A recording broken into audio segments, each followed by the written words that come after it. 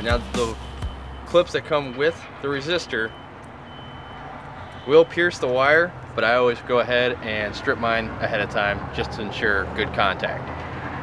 if you just ball the ends up, it keeps them from pulling out of the clips. And always, before you put these in the clips, mount the resistor first. Makes life a lot easier.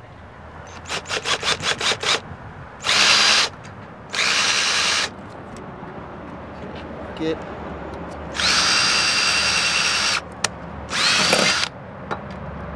it.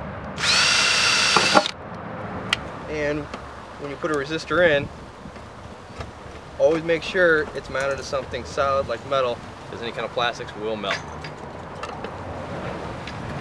For this, it doesn't matter which end of the resistor you put in. As long as they make solid contact, all you're worried about in this.